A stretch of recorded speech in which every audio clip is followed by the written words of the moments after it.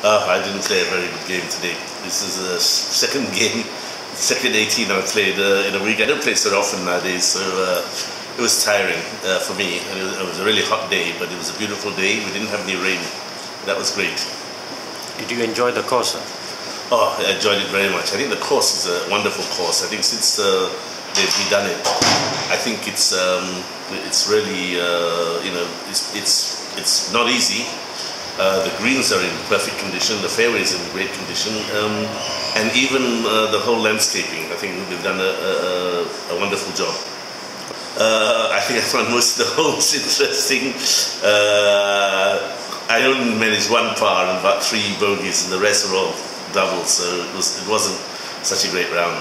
Okay, can you tell me about a little bit about this event, the Carlsberg Golf Classic? Is this your first time uh, playing in this? This event? is my first time in the Golf uh, Classic, and, and I wrote. I'm really surprised that uh, you know there are so many of them, and that means that Carlsberg really is, is one of the um, you know biggest sponsors of golf, particularly amateur golf, club golf in the country.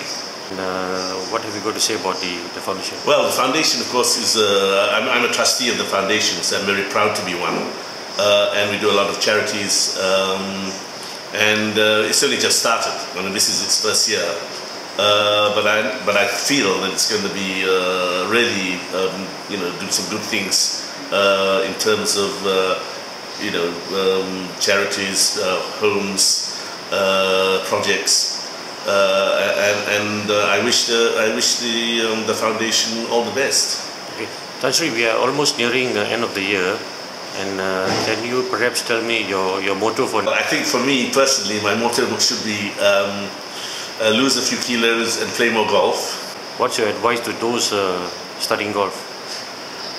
Well, you know, golf is just uh, just a great uh, sport. You know, it teaches you so many things. It teaches you a lot about yourself. It teaches you a lot of self-discipline. You meet a lot of people. You get into the fresh air. Uh, you you challenge yourself um, it's got you know great values. Uh, you're out on your own. You, know, you don't have referees uh, walking around. You know, and and and and and you know you respect the rules. Um, I think it's it's a great game for young people. Now, of course, if they become very good, then uh, I think they, then they should just look at seeing how far they can go in the game. I, of course, you know, you, you, only one person can be a, a, a, world champion, for instance, or an Olympic champion, because golf is in the Olympics next year. But um, you know, it, it, you know, they should challenge themselves to see how far they can go in the game if they are good. If they're not good, they're just enjoying it. Uh, then enjoy it because it is uh, it's wonderful. You make a lot of friends through golf.